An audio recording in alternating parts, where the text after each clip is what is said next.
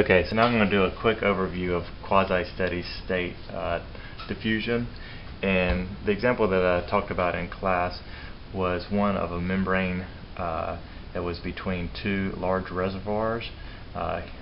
with a volume uh, VR1 for the first reservoir and VR2 for the second one. And uh, each of the two reservoirs has a concentration we'll label as C1 and C2 of the solute and what we're interested in is the what is the concentration profile and the diffusion going through this membrane which has a volume of V uh, sub m.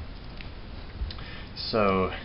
what makes this situation quasi-steady state for this uh, diffusion through this membrane? Well first of all we can do a test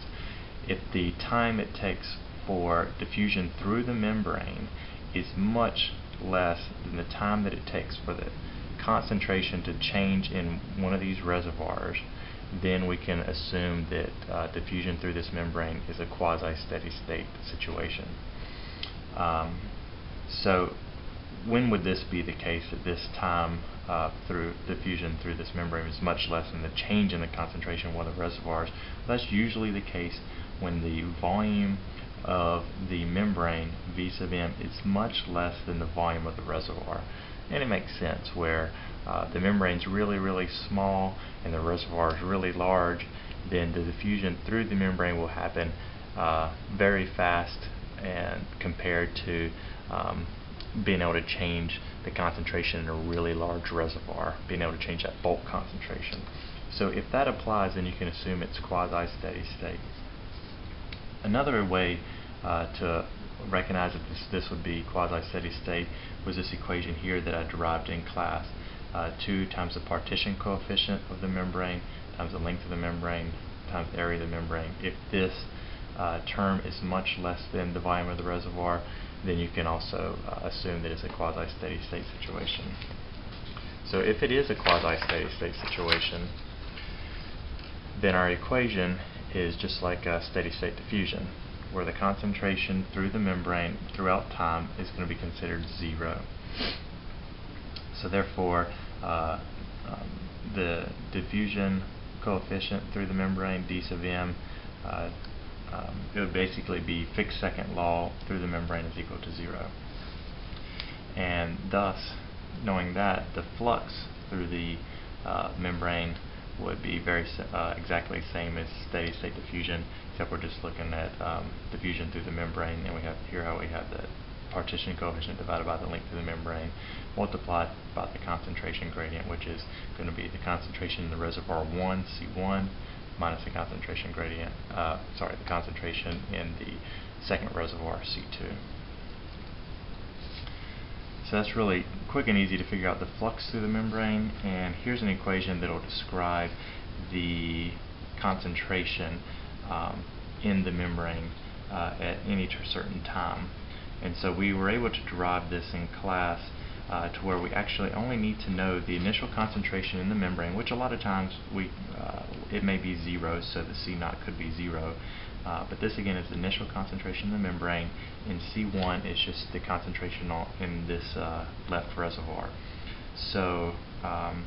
initially I think we derived it from when we knew the concentration in both reservoirs, but we're able to uh, mathematically uh, simplify the equation to where we only need to actually know the uh, concentration in one reservoir, which is really handy in real life situations when you want to uh, be able to measure things and you only need to worry about measuring one side of, um, um, of this whole setup. And so this, this side of the equation uh, where we have our concentrations is going to be equal to 2 times the area of the membrane times the diffusion coefficient of the membrane times the partition coefficient of the membrane divided by the reservoir volume times the length of the membrane and all that's multiplied by time. So at any time, uh, 5 seconds, 10 seconds, whatever it may be, we can figure out what the concentration um, is going to be in the um,